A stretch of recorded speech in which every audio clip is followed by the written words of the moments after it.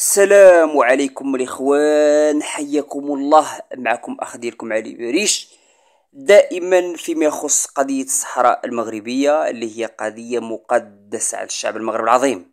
هذا الحريق اللي كتشوفوه في الفيديو عندنا في المغرب بالصحراء المغربية بالضبط في فوس بوقراع ضواحي العيون. وهذا الفيديوهات تداولوهم مغاربة وكذلك عناصر بوليزاريو وصحراويين مغاربة على نطاق واسع قبل لحظات من الآن في وسائل التواصل الاجتماعي. عموما الخبر المتداول على أنه حريق في الحزام الناقل للفوسفات. بالضبط حسب معلومات متضاربة ومختلفة أنه في النقطة قفلة رقم ثلاثة. وحدين آخرين قالوا قفلة الرقم خمسة. وحدين قالوا قفلة رقم ستة. المهم النقطة بالضبط اللي شب في هذا الحريق غير معروفة ومختلفة الروايات.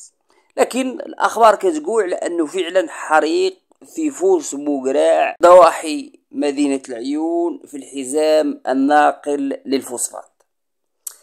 الغريب والعجيب على أنه إحنا نعرفوا البوليزار دائما يستغلوا مثل هذه الأحداث. أكيد ومؤكد البوليزاريو غيقول على أن اقساف جبهة البوليزار على مدينة العيون. وأكيد ومؤكد وأنا متأكد على أنكم غتسمعوا البوليزار غيقولوا على أنهم هما اللي قصفوا الحزام الناقل للفوسفات. وأنا بعد متأكد ومتيقن مليار في المية. على انكم غتسمعوا عناصر البوليزاريو وأبواقهم غيقولكم على أنه البوليزارو قصفت هذا الحزام الناقل للفوسفات. حقيقة ما نسوش فعلا على انه البوليزاريو ومرتزقاتها سبق على انه عدلوا هجوم على شكل حرب العصابات على الحزام الناقل للفوسفات وفجروه سابقا هادشي قديم. ذاك الوقت نقدر نقول أنه المغرب مازال ما بسط السيطرة الأمنية على الصحراء المغربية. مازال ما كاينش جدار رملي ومازال كاين اختراقات من عصابات البوليزاريو ويدخلوا طنطان وبعض المدن في شمال الصحراء الغربية المغربية حتى آسا الطرفاية العيون الداخلة كيوصلوا حتى البحر وكينفذوا جرائم في حق الصحراويين واختطافات في حق الصحراويين وحتى في حق إسبان. لأن البوليزاريو وصلت حتى المحيط الأطلسي واختطفت صيادين إسبان من جزر الكناري واقتادتهم مخيمات تندوف وسجنتهم في سجونها وعذبتهم وقتلتهم. هذا ما نكروش أنه سابقا في السبعينات وقبل الثمانينات بوليزاري وعصاباتها ومرتزقاتها كانوا يدخلوا الصحراء المغربية والمدن المغربية ويرتكبوا جرائم تفجير قتل اختطافات. ولكن في الوقت الراهن مستحيل أنهم يدخلوا. علاش؟ لأنه كاين الجدار الأمني المغربي. لكن البوليزارو فعلا قد ترسل صواريخ إلى داخل الصحراء المغربية. فعلا نحن كنتكلموا على قذائف كانت وصلت مدينة سمارة. مدينة سمارة تعتبر أقرب منطقة قريبه للجدار الرملي. كيفصلها مع الجدار الرملي؟ حوالي 40 كيلومتر ما بين 40 30 40 كيلومتر. ولكن العيون مستحيل العيون صواريخ البوليزارو يوصلوا للعيون مستحيل. علاش؟ لأن المسافة طويلة. لهذا مستحيل صواريخ البوليزاريو أو قذائف البوليساريو يوصلوا لمدينة العيون أو فوز بوقراع في الوقت الراهن. لهذا نأكد لكم على أن البوليزاريو غيركبوا على الحدث. ولا سمعتوا عناصر البوليزاريو كيقولوا على أنه قصفوا فوز بوقراع ولا قصفوا الحزام الناقل الفوسفات عرفوهم كيكذبوا لحد اللحظة الخوت المعلومات الأولية نجهل الأسباب هذا الحريق أو هذا التفجير في الحزام أو شيء من هذا القبيل. يقد يكون هذا حريق. عادي جدا كيوقع. نحانو في قليل الساعات المقبلة نعرف الأسباب الحقيقية. لكن أكدكم لأنه غيكون السبب محلي حريق شيء من هذا القبيل. عالي جدا. قريت بعض تدوينات عناصر البوليزر وبداو كيقولوا بداو كيدونوا على أنه احتمال عملية مقاومة داخلية. دابا كيقلبوا على الطريقة باش يركبوا على هذا الحريق والعهد الحدث يتبنوا ويرجعوا منه انتصار وإنجاز البوليزاريو العموم أخوت حسب بعض التدوينات كاتبين على أنه احتمال عملية مقاومة داخلية.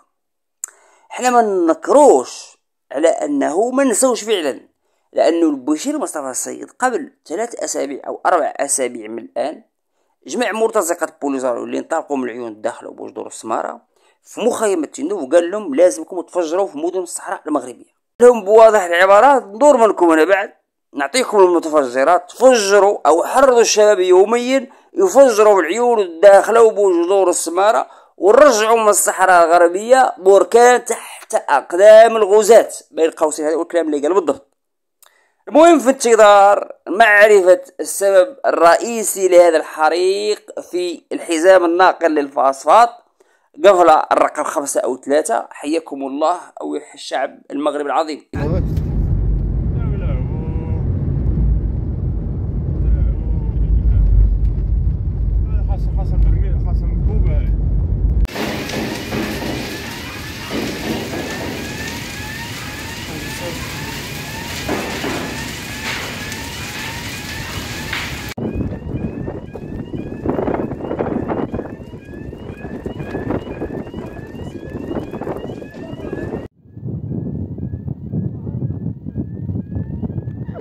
خاصة البومبوية هذه.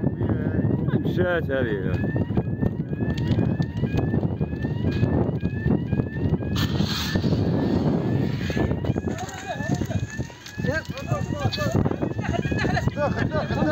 سير داخل داخل داخل.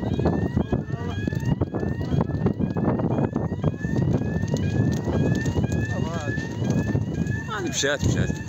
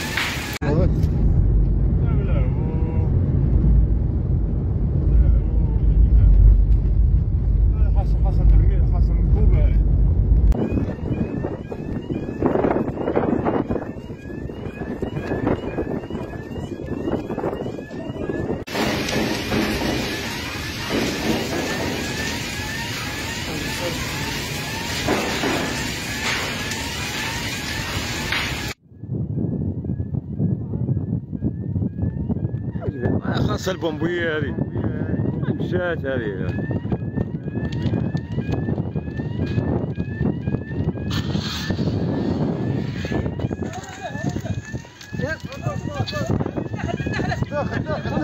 سير داخل داخل داخل.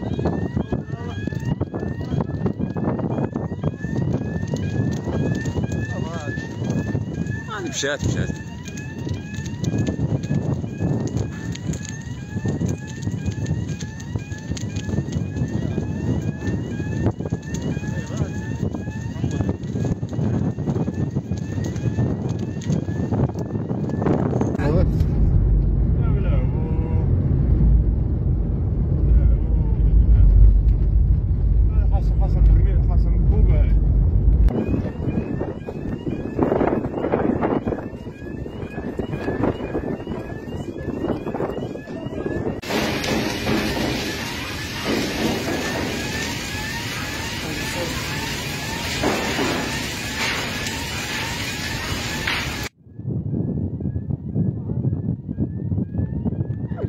خاصة البومبوية هذه. مشات هذه.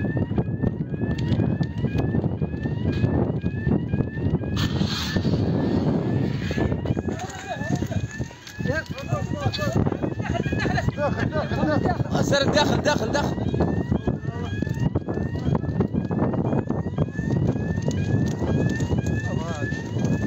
هذه مشات مشات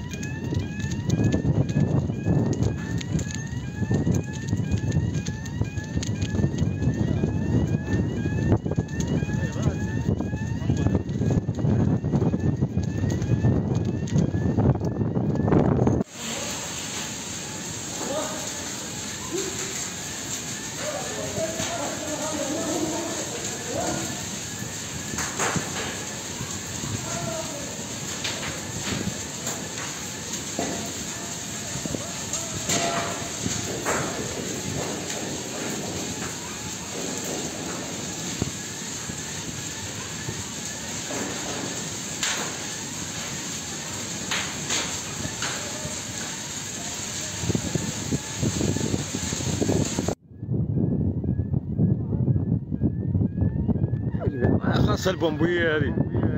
مشات هذه.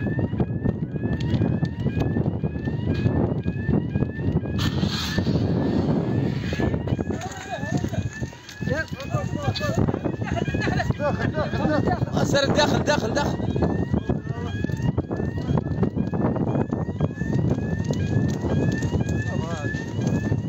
مشات مشات